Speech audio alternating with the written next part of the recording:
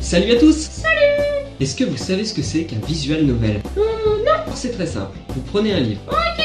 Vous rajoutez des images, Je de la musique, Once once vous mélangez le tout. et ça vous donne un visual novel.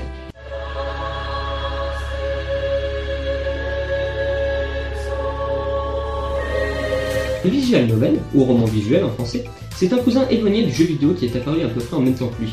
Les japonais adorent. Le principe est simple, c'est comme un livre, sauf qu'au lieu de tourner les pages, vous cliquez. Ça. Vous rappelle peut-être des jeux auxquels vous avez déjà joué, comme Ace Attorney ou Professor Layton. On ne va pas rentrer dans les querelles de chapelle dès le premier épisode, mais certains puristes estiment que ces jeux ne sont pas des visual novels, vu qu'ils contiennent déjà beaucoup trop de phases de jeu.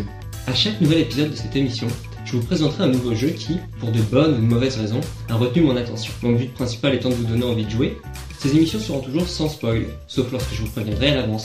Et par quoi qu'on commence? Par Juniper's Note. Oui? Je voulais te dire. Je sais que tu aurais pu la faire toute seule, cette émission, et je voulais te remercier de m'avoir invité à la faire avec toi. Ça me touche beaucoup. Ah, c'est normal, on est potes. Oui, on est pas. D'accord.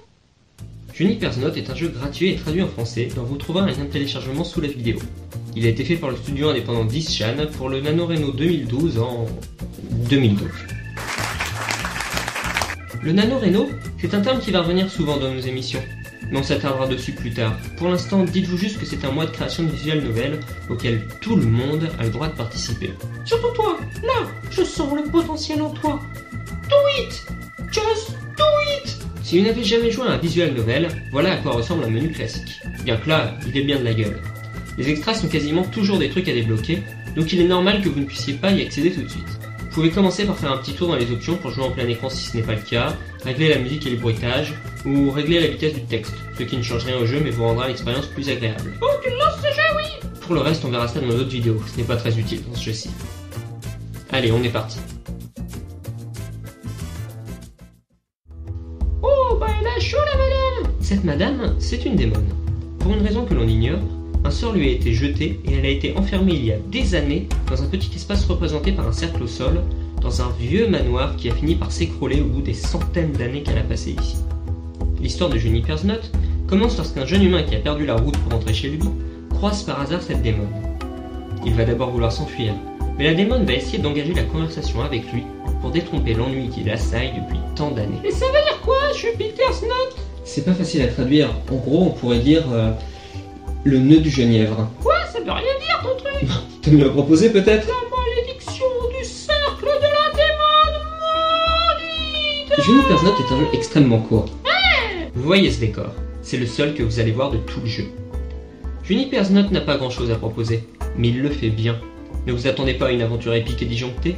C'est un jeu calme qui raconte juste l'histoire de deux personnages qui vont apprendre à se connaître, et bien sûr apprendre à se connaître eux-mêmes un peu mieux au passage.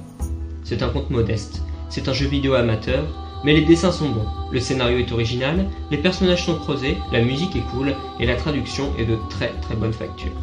Et comme vous le verrez dans les vidéos suivantes, c'est loin d'être toujours le cas chez les jeux amateurs. Et maintenant, c'est l'heure du tuto de Concorde la Pour télécharger le jeu, tu vois, c'est